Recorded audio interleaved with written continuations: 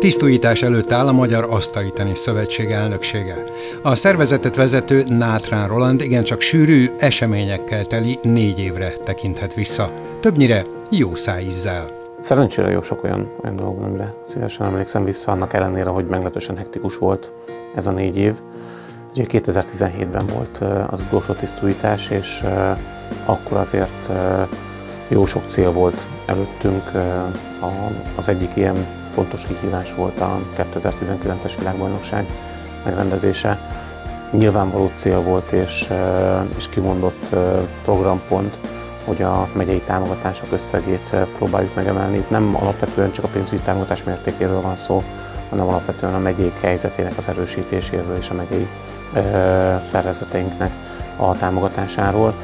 Ezen túl szintén határozott cél volt és kimondott programpont, hogy a klub támogatásokat növelje a szövetség, a lehetőségeihez miért nem próbálja meg objektív alapon eljutatni minél több klubhoz. És hát természetesen akkor még nem láttuk, hogy a Covid járvány milyen kihívások elé állítja nem csak az asztalitani sportot, és nem is csak idehaza, hanem világszerte a különböző sportágokat. Szóval meglehetősen hektikus volt ez az időszak, de szerencsére egy nagyon konstruktív elnökség állt össze, és, és a munka ennek a, a, a célkitűzés triumvirátusnak a, a a, az irányába indult meg, azaz megyei szervezetek, klubok szakosztályok helyzetének megerősítése és a Magyar Asztaliteni Szövetség nemzetközi és hazai versenyrendezési, illetve diplomáciai és sportdiplomáciai pozíciójának a javítása volt a legfontosabb cél. A terveket megvalósulás követte.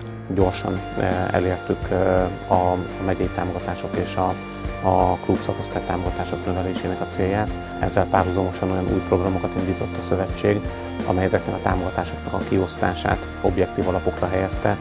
E, ilyen volt e, a régiós edző e, program, vagy ilyen volt a bértámogatási programunk, vagy az utánpótlás pontrendszerben nyújtott támogatási programunk. Ez meglehetősen könnyűvé tette az éves támogatások kiasztását, hiszen egy algoritmus alapján kiszámoltuk, hogy kik azok, melyek azok az egyesületek, klubok, amelyek támogatásra jogosultak, és mekkora ez a támogatás, tehát egy, egy automatizmus alapján kerültek felosztásra a, a pénzügyi erőforrásai a szövetségnek. Ugye ezzel a, a lépéssel determináltuk gyakorlatilag a büdzsénket, hiszen, hiszen ez természetesen a korábbi évekhez képest egy jelentős növekedést okozott a kiadási oldalon. A szövetség fontos célja volt, hogy a férfi válogatottnál levezényelje a generációváltást.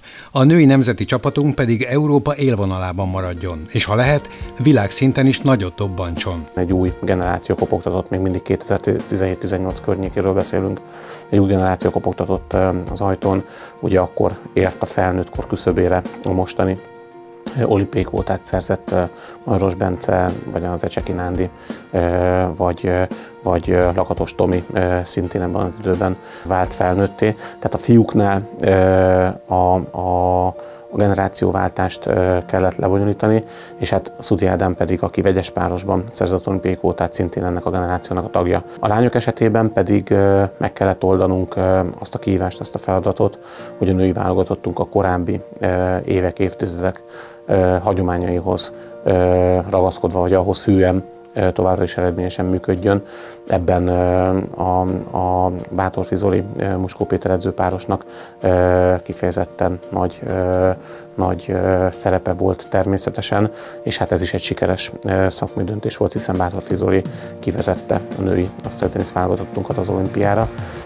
Tehát a, a pénzügyi igazgatási, adminisztratív jellegű feladatokon túl jelentős szakmai kihívások is voltak. Természetesen az utánpótlás helyzetére is kiemelt figyelmet kellett fordítani. Mind a férfi, mind a női utánpótlás nevelésünk esetében vissza kell térnünk, kimondott cél volt, hogy visszatérjünk ahhoz a hagyományhoz, hogy a magyar asztali utánpótlás meghatározó legyen Európában. Ezért nyilvánvalóan folyamatosan szerveztük az utánpótlás nevelési feladatot. Most a szövetség esetében természetesen elsősorban a válogatott szintű utánpótlás nevelésről van szó. A napi munka jelentős részét tették ki a versenyszervezési feladatok. A legnagyobb dobás a 2019-es Budapesti világbajnokság volt. Nagyon sikeres világbajnokságot rendeztünk, e, tulajdonképpen minden szempontból sikeres volt, hiszen versenyzőink kiválóan szerepeltek, fiataljaink e, olyan győzelmeket arattak, amik emlékezetesek azóta is, a már válogatott játékosaink szintén tudásuk legjavát adva azt a célt teljesítették, hogy nem kaptak ki náluk hátrébb sorolt játékostól, tehát szakmailag kifejezetten sikeres világbajnokság volt.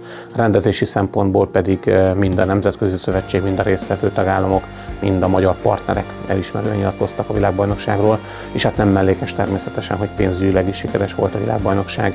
Büszkék lehetünk arra, és büszkék is vagyunk, hogy az asztali tenisz nemzetközi rendezvényeket nem kíséri semmi fajta botrány, nem kíséri semmilyen elszámolási hiányosság, nem veszteségesek ezek a versenyeink, hanem pontosan, precízen, addig nyújtózkodva, meddig a takaróér feszesen tudjuk tartani a költségvetésünket, és az adott keretek között a lehető legjobbat hozzuk ki. Tehát ez a sikeres világbajnokság, ez, ez 2019-ben nagyon sokat számított nekünk, nagyon sok fiatallal, kisgyerekkel, szurkolóval, ismertette meg, vagy hozta közelebb, még közelebb az asztaliteni sportot, és hát több tízezres látogatói létszámot tudtunk regisztrálni, úgyhogy nagyon boldogak voltunk abban az évben. Ezt követte ugye a Veterán Európa bajnokság, ami szintén egy fontos verseny volt ezt az időszakot követően. A legnagyobb nehézséget és a legtöbb fejtörést a 2020 elején elszabaduló koronavírus járvány okozta. Itt mi a szövetségben azt tudtuk tenni, hogy a saját adminisztratív költségeinket próbáltuk meg visszafogni, tehát meg kellett válnunk az irodában három munkatárstól azért, hogy a bérköltségeinket lejjebb tudjuk szorítani, viszont az kimondott és határozott cél volt, hogy a klub támogatásokat ne csökkentsük, illetve a kluboknak az, abban az évben, az adott évben járó támogatást a lehető leggyorsabban utaljuk ki, a lehető leggyorsabban jutassuk el. Ez megint csak egy pénzügyi aspektus természetesen, de ennél talán még fontosabb, hogy a versenyrendszerünk is megsínlette a 2019-et követő Covid dal leírható időszakot, tehát 2020-21-et, hiszen le kellett állítanunk a, a megyei bajnokságoktól kezdve egészen az extraligás bajnoki mérkőzésekig le kellett állítanunk a versenyrendszert. Szerintem egy helyes döntés volt, és utóbb sikeresnek is, sikeresnek is bizonyult, hogy a Final Four 2020-ban e, meg tudtuk szervezni. Egy fantasztikus Final Four volt, Covid ide vagy oda, élő televíziós közvetítés mellett láthatta országvilág, hogy milyen nagyszerű sportolók vannak a magyar asztaliteni sportban, és hát természetesen izgalmas volt a Final Four. Kis szerencsével tehát meg tudtuk ezt a, a, az idényzárót rendezni, de hát sajnos a 2020-21-es idényre még mindig a Covid helyzet nyomta rá a bélyegét. Magyarán maradnunk kellett válságkezelési módban. Ez tehát az elmúlt négy évnek a nagyon rövid, zanzásított összefoglalója. Ahogy azt említettem, igyekeztünk a szövetség és a titkárság igyekezett a, a szakmai szempontokat előtérbe helyezve az igazgatási és a pénzügyi kérdésekben is előrelépni a korábbi évekhez viszonyítva, és ez meggyőződésem szerint sikerült is. Mindezzel együtt, és ez az utolsó észrevétel erről a négy évről, én azt gondolom, hogy a legnagyobb siker és a legnagyobb előrelépés az az, hogy az asztali tenisz közösség egy egy nagyon összetartó és, és nagyon homogén közösségé vált. Tehát megszűntek azok a viaskodások, azok a torsalkodások, amik a korábbi évben jellemzőek voltak itt-ott, ami nem jelenti azt, hogy nem maradtak volna meg természetesen eltérő, eltérő szemléletek vagy eltérő preferenciák. Egyes klubok természetesen az utánpótlás nevelésre helyezek a hangsúlyt, más klubok az élsportra, a felnőtt élsportra. Van olyan klub, amely kifejezetten arra törekszik, hogy minél több kisgyerekkel, minél több játékossal ismertesse meg a sportágat, és megyei bajnokságban, MB3-as bajnokságban tudjanak játszani a sportolói. Más klub arra törekszik, hogy az Extraligában és a, a válogatottban szerepeljenek a játékosai, és, és ez a, a meghatározó szempontja. Tehát ezek a különbségek természetesen megmaradtak, de ezek gazdagítják a magyar sportot sokkal inkább, mint sem, hogy, mint sem, hogy megosszanak bennünket, és az elmúlt négy év az arról tett tanúbizonyságot, hogy mi, akik az asztaliteni sportában dolgozunk, szeretnénk ezért tenni, és én azt éreztem, hogy sokkal több evező hajtotta ezt a hajót az elmúlt négy évben, mint korábban. Így módon tehát gyorsabban is tudott ez a hajó haladni, ami a magyar asztaliteni sportot jelképezi.